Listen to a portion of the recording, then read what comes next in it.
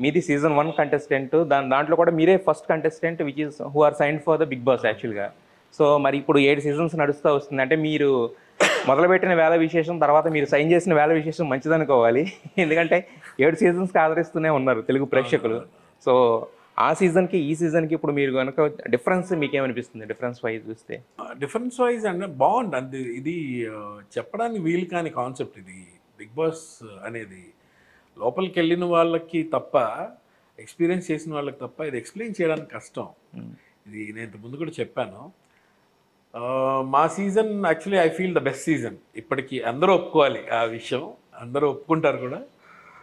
అది first of its kind కావడమో లేకపోతే తారక్ చేసిన హోస్టింగో లేకపోతే కంటెస్టెంట్స్ ఇచ్చిన కంటెంటో వాట్ ఎవర్ ఇట్ ఈస్ మా season I feel it is the best till till date.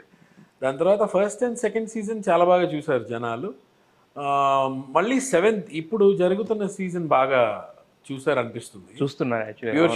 ఇప్పుడు జరుగుతున్న సీజన్ అయితే చాలా చాలా బాగుంది. అంటే నాగార్జున గారు అనౌన్స్ ఏంటంటే ఇండియాలోనే this is the biggest TRP అని చెప్పి హైయెస్ట్ టీఆర్పీ అని చెప్తున్నారు యాక్చువల్గా అవును. డిఫరెన్స్ ఆఫ్ ఇది అంటే ఏం లేదండి. మాకు ఎక్కడో లోనావ్లాలో ఎక్కడో చేశారు. మాకు కూడా తెలియదు ఆ లొకేషన్. ఎక్కడో అడవిలో ఎక్కడో సెట్ వేసి మీకు గంతలు కట్టి తీసుకెళ్ళి అవును. ఉండేది కదా? కళ్ళకి కట్టేసి తీసుకెళ్ళారు. That is a different experience what we all together had ఎందుకంటే ఇంటికి దూరంగా ఉన్నాం ఎక్కడున్నాం తెలియదు పిలిస్తే పలికేవాళ్ళు లేరు. టక్కన ఇంటికి వెళ్ళిపోదాం అంటే కుదరదు. ఇప్పుడు ఇక్కడే హైదరాబాద్లోనే ఇక స్టూడియోలోనే ఉంది కాబట్టి సైకలాజికల్ కాన్సెప్ట్ కదా ఇది. మన సైకలాజికల్గా దెబ్బతీసే ఇది.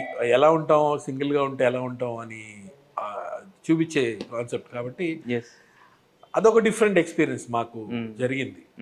ఆఫ్టర్ దట్ ఇక్కడికి ఎప్పుడైతే స్టూడియోకి వచ్చిందో దట్ విల్ బి కొంచెం రిలాక్సేషన్ వచ్చేస్తుంది మైండ్లోకి. కాకపోతే సార్ మీది పర్ఫెక్ట్గా జరిగింది అంటే మీది బాగా హిట్ అయింది పర్ఫెక్ట్గా కూడా జరిగింది. ఇప్పుడు ఏమవుతుందంటే సండే సాయంత్రం ఎలిమినేషన్ ఉంటుంది. బట్ మనకి శనివారం మధ్యాహ్నానికి లీక్స్ వచ్చేస్తాయి. ఎవరు ఎలిమినేట్ అయిపోయారని చెప్పి. ఆ పెప్ అనేది ఎక్కడో తగ్గిందనే ఫీలింగ్. అప్పుడు మాది చాలా డిస్క్రీట్గా ఉండేది. అవును. ఇంత సోషల్ మీడియా లేదు. లేదు ప్లస్ ఉండేది కూడా అక్కడ కాబట్టి అక్కడ కాబట్టి బయటికి వెళ్ళేది కాదు. ఏది కూడా బయటికి వెళ్ళే వీడియోలు కానీ ఇంకోటి లీక్ అయ్యేవి లీక్ అవే కాదు. సో ఇది ఒక పాయింట్ మీరు చెప్పిన పాయింట్ చాలా కరెక్ట్ ముందే తెలిసిపోతుంది. అందరూ బయట రిలీజ్ చేసేస్తున్నారు. అదే pep so so eliminated so so eliminated ఆ పెప్పు పోతుంది. ఇప్పుడు మన- మనకి ఏంటంటే మీరు అక్కడ ఎంత నాగార్జున గారు సస్పెన్స్ మెయింటైన్ చేసినా బిగ్ బాస్ ఎంత మెయింటైన్ చేసినా అవును కదా. వాళ్ళు ఏదో పాపం ఇద్దరిని తీసుకొస్తారు. ఎవరిని సస్పెండ్ డ్యాంగ్ డ్యాంగ్ అని ఏదో సౌండ్ వేస్తారు.